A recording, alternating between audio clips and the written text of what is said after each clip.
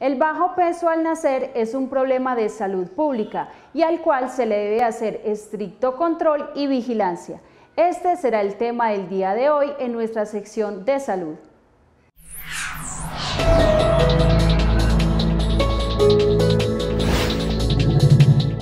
Sección patrocinada por el Laboratorio Clínico Liliana Giraldo Familab. El Laboratorio Clínico Liliana Giraldo Guarín les ofrece exámenes de laboratorio de primero, segundo y tercer nivel de complejidad. Encuentra exámenes de rutina y para el control de todas sus enfermedades, perfil tiroideo y pruebas de coagulación, paquetes para manipuladores de alimentos, toda clase de exámenes para gestantes, para la detección de infecciones de transmisión sexual, colinesterasas, espermogramas, marcador de cáncer corporal y mucho más. Estamos ubicados en la carrera 8, número 741. Celular y WhatsApp 322-606-6226. Facebook Laboratorio Clínico Liliana Giraldo-Familab. Instagram Laboratorio Clínico Liliana Giraldo. Servicio a domicilio gratuito en la zona urbana. Les ofrecemos un excelente servicio, oportuno y calidad para todos ustedes y su familia, sin previa cita, sin orden médica y sin largas filas. Estamos ubicados en la IPS Santa Mónica.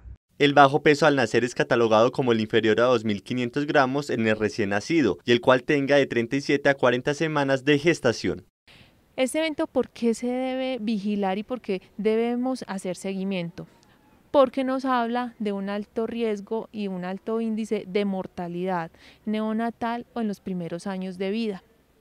La idea es que el niño al nacer sea vigilado durante mínimo 24 horas, pero eso también lo decide el médico tratante. La idea es que alcance los 2.500 gramos al nacer para poder dar egreso hospitalario.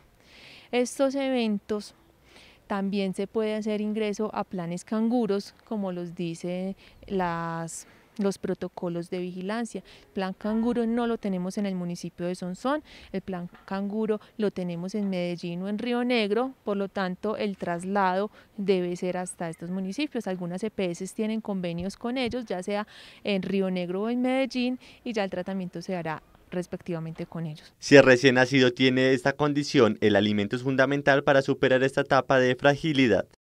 Hablamos de ofrecer alimentación materna, lactancia materna exclusiva en estos niños, también con unos seguimientos, como les dije desde el principio, para valorar ganancia de peso. La idea es que los niños alcancen una ganancia de peso adecuada.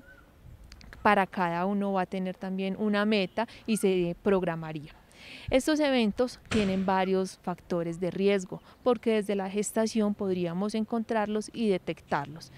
Eh, como algunos de ellos serían las condiciones económicas también, los factores en qué condiciones viven, si hay hacinamiento en los hogares, la edad materna, edades menores a 20 años o adolescentes o también edades que sean mayores a 40 años.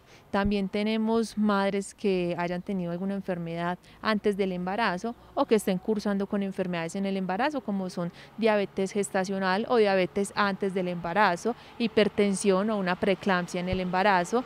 Los controles prenatales de la madre son esenciales para que el médico o ginecólogo pueda detectar y tratar a tiempo esta patología.